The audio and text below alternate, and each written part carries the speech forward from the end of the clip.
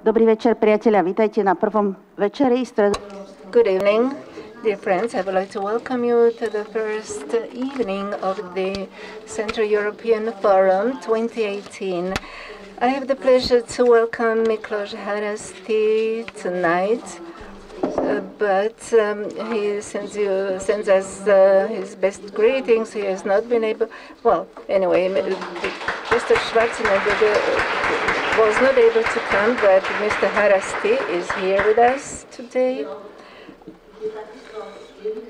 He's also one of the symbols, one of the pillars of the Central European Forum. Thank you so much for having me here, and not for the first time. Um, I have been a guest of this meeting uh, several times uh, in the last years. It was a great occasion every time to exchange views about the state of our joint Central Europe more specifically about the state of democracy, state of progress in the four countries of Central Europe, in the so-called Visegrad Four. It is a meeting on the intellectual level, um, not immediately on the political level, and therefore it gives always, and this time it will also um, give food for your soul and for your mind as well. And I would like to contribute to this with a very short concept of the second kidnapping of Central Europe. Milan Kundera once introduced this concept. It was the kidnapping by foreign occupiers it was kidnapping by world politics.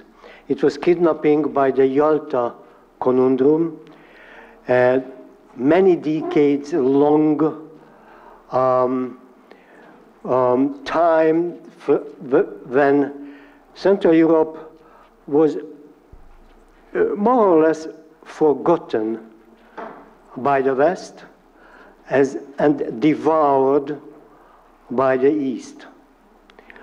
Uh, the classic tripartite um, layering of Europe, West, Central Europe, and East, disappeared for a, for a dual nature of Europe. The original was a layer of Europe, Western Europe, where democracy was 200 years old, Central Europe, where democracy was 100 years old. I'm talking about the time of the Cold War. And uh, there was the East, where democracy, democratic traditions were quite short lived, as short lived as three months, for example, in Russia, between um, the um, uh, falling of the Tsar and the falling of the short-lived democracy under onslaught of the Bolshevik party. This disappeared, and uh, Central Europe, its society, its relative achievements, its traditions have disappeared under the spell of the occupation by um, the Bolshevik party's um, legacy.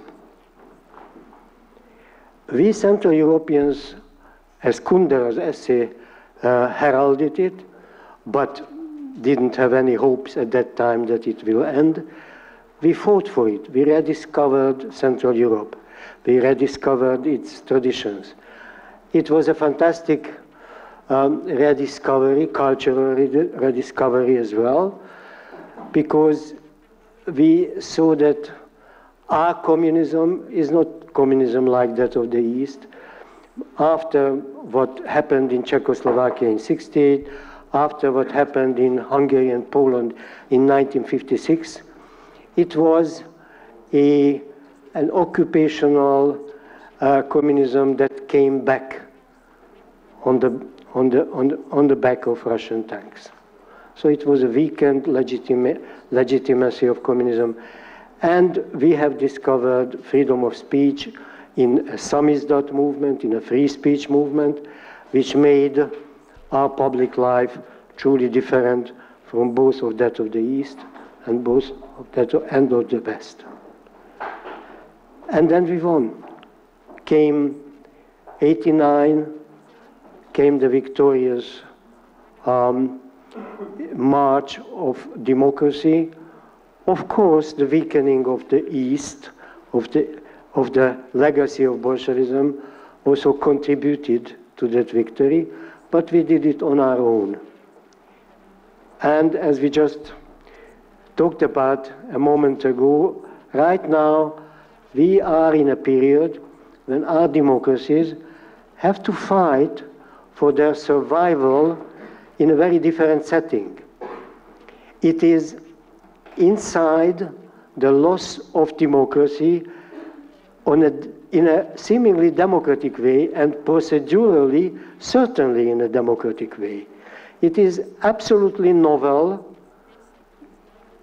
unexperienced by the, these nations who are accustomed to fight for their democracy, for their freedom, to liberate it from foreign occupiers and from gauleiters and, and local quislings of foreign occupiers. And the fact that we victoriously won that fight back then, almost 30 years, almost 30 years ago, is not a guarantee that we can win this second fight. And here is my second point. Unfortunately, what is happening at the initiative of Viktor Orban of Hungary um, is attempted to be secured, this loss of democracy from inside, is attempted to be secured with the help of an international cooperation by kidnapping of the uh, original project of the Visegrad Four.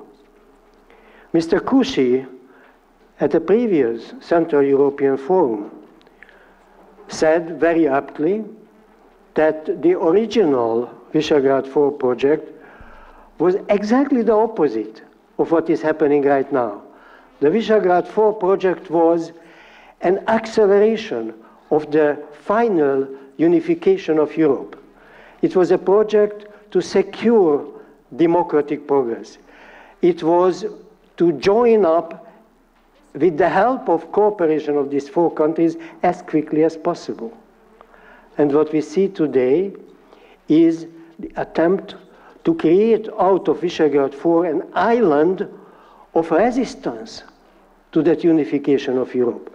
What we see is an attempt to try to make out of Central Europe an island of xenophobia, of nationalism, of perpetuation of illegitimate perpetuation of power by kidnapping the uh, independence of the courts, by kidnapping um, uh, the uh, fairness and freedom of elections, by um, diverting the transparency of public monies, and um, they try to forge out of Visegrad 4 a fake solidarity of these attempts, of these illiberal attempts.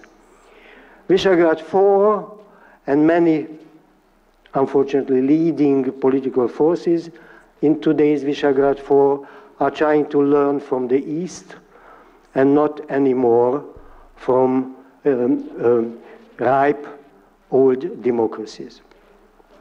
Is this fight bad news? Yes, it is bad news. But here is a point of good news about it. I believe that a Western quality of democracy is coming exactly from such fights. You can call quality of democracy Western or established if a democracy has gone through this very fight. Realizing that freedom can be lost from inside, realizing that uh, nobody can help from outside. You have to go through this crisis. You have to go down in this crisis and fight it on your own. And when you have done it, when you are done with this fight, then it is memorialized in the tradition of your culture that bad experience that you can lose democracy from inside and the good experience that you can win that fight. Will it last forever? No. Every democracy has to go through such crises again and again, but with immunity, that the initial fight and the win of this initial fight has given to you. So I believe that this forum, uh, the exchange of views at this forum will contribute to this, even if on the cultural and um, um, uh, intellectual level. But we need that. We need the recognition of this crisis. We need to see the good in it, the possibility to make our four democracies ripe, um, self-conscious, uh, standing on its own, continuing on its own, and being more secure than it has been 30 years ago when we somewhat naively believed that um, history is over, history is ending, and the final unification of Europe is imminent. It is not. Powerful forces are against it, so let's ourselves be a powerful resistance to the second kidnapping of Central Europe. Thank you very much.